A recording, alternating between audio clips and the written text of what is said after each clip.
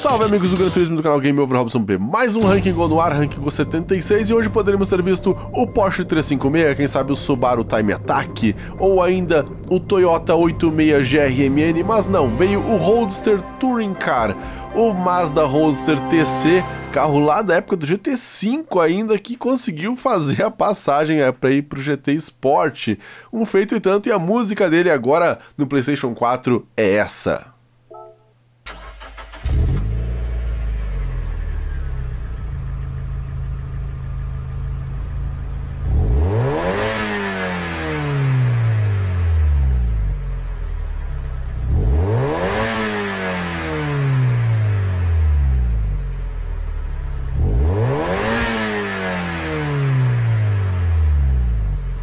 É, meus amigos, já que ele é um carro de um jogo mais antigo, eu resolvi puxar então o padrão ao estilo Need for Speed Underground 2. Bom, Interlagos 1h45 da tarde mostrar que o carro é manual, pneu esportivo duro, sem controle de tração e apenas o ABS ligado por opção aqui do Game Over Robson B. Na parte de configuração do carro mostrar que está 100% estoque como tem que ser, 208 cavalos, ou seja, um pouquinho mais de 200 cavalos.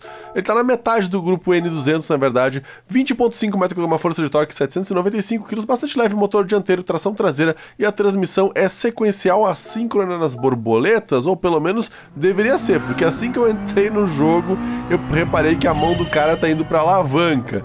Então sim, ele poderia ter aquela alavanca sequencial bonitinha, mas eu resolvi dar uma checada para ver se ele consegue pular as marchas aí com o câmbio H e ele pula. Então, dá a entender é que você pode usar o câmbio H então, certo? Bom, aí eu fui dar uma pesquisada com a parte de fotografia do GT Sport. Isso não é muito usual aqui no Ranking Go e resolvi dar uma espiadinha lá nos pedais do cara para ver e existe um terceiro pedal bem na esquerda do pé esquerdo do cara. Então, eu fiquei sem entender, foi nada na verdade. O pedal de embreagem tá ali, bonitinho, freio no meio, acelerador na direita, ainda tem um botãozinho drink aí. E, bom, diante disso eu resolvi levar ele pra pista então e fazer 12 voltas e a 12 volta já é a volta definitiva do Ranking Go, usando apenas o shifter, então sem o pedal de embreagem, porque uh, na passada de marcha aí ele não aparece o Nzinho, então o pedal de embreagem na real não funciona no Roadster TC. Ele não é um carro manual, mas ele está usando o câmbio H. Eu resolvi deixar o câmbio H então passando as marchas normalmente sem pisar na embreagem. E isso naturalmente vai ficar anotado aí na tabela que está sendo mantida no gameover.robsonb.com.br. E na fichinha técnica diz que o Anus Roadster foi vendido na Europa como Mazda MX-5 e nos Estados Unidos como Miata. Então, dependendo de onde você está no mundo, ele tem um desses três nomes.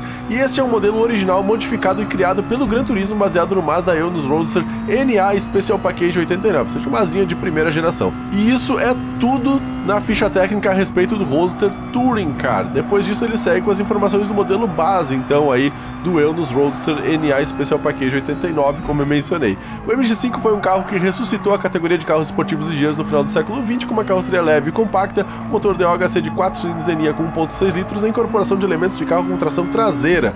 Era um modelo conversível de dois lugares leve e imponente. O lançamento no Japão ocorreu em setembro de 1989. Nessa época dispunha de um motor 1.6 litros tipo B6 ZE, desenvolvendo 120 cavalos e 14 metros de força de torque. A ligação entre a transmissão e o diferencial traseiro era conseguida através de uma estrutura de motor de alumínio, criando uma sensação de transmissão mais dura. A suspensão das quatro rodas era de duplo braço triangular, os freios de disco em todo o resto foi projetado sem olhar os custos. O MX-5 assistiu ao lançamento de diversas edições limitadas e com a Mazda atingindo aí 531.890 unidades no final de 97, este modelo estabeleceu o recorde mundial de produção de conversíveis de dois lugares e até mesmo entrou no livro de recordes do Guinness, um feito e tanto aí para o pequeno Mazdinha MX-5, Roadster Touring Car, carro que estava lá na época do GT5, foi um dos primeiros carros de DLC pago a aparecer na série do GT também. Minha melhor volta aí foi a 12 com 1,54,495, tempo relativamente bom para um carro N200, se for parar para pensar, ele não é um carro de competição, mesmo sendo um carro de competição, dentro do GT Sport ele está classificado como N200.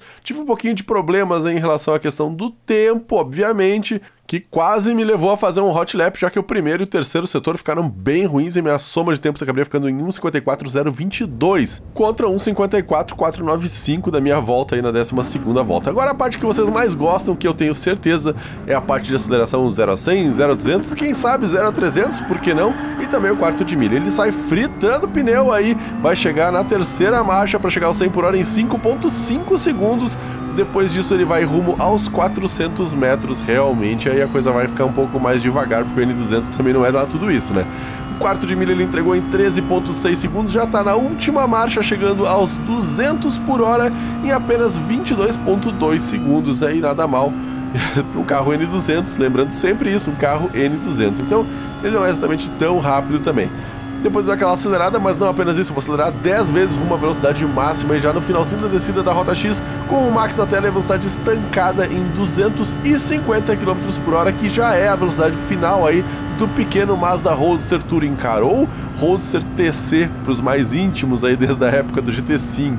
E agora a parte que vocês mais gostam, que é a tabela do Ranking Go. Nosso pequeno Roadster TC conseguiu garantir a 56ª posição com 1,54,495, um bom tempo em relação ao modelo base dele, que ficou na 69ª posição com 2 minutos e 8, à frente do Corvette C2, que é N400, do RX-7 e do Impreza. E o próximo carro, começando a semana que vem, é esse. Ele é o primeiro da categoria dele a dar as caras no Ranking Go. Então, realmente é um carro especial. Obviamente estou falando de um carro do grupo 1, finalmente um carro do grupo 1. E se você gostou, já sabe, curta e compartilhe o canal Game Over Robson B. Valeu? Valeu!